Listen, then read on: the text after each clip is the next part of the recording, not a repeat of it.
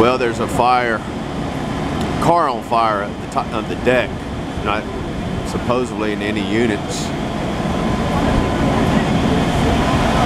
Fire department's right on it. Car caught on fire up the deck, it looks like. That's what I hear.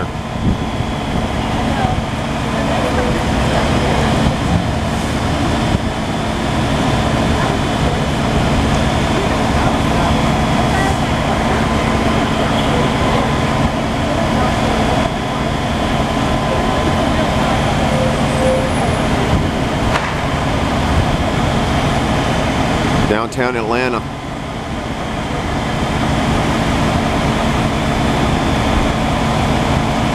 City of Atlanta is right on top of it. They, they were here in just a matter of just minutes.